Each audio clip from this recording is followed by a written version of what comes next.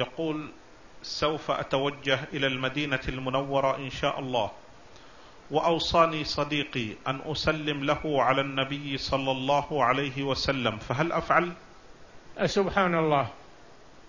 هذا خلاف السنة. السنة أنك أنت تصلي عليه في أي مكان ولا توصي أحد. قال صلى الله عليه وسلم صلوا علي حيث كنتم فإن صلاتكم تبلغني.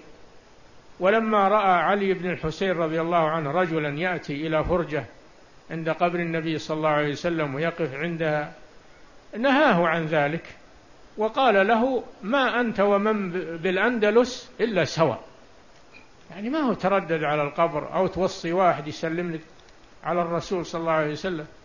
أنت صل عليه وسلم في أي مكان يبلغ ذلك. كما قال صلى الله عليه وسلم فإن صلاتكم تبلغني.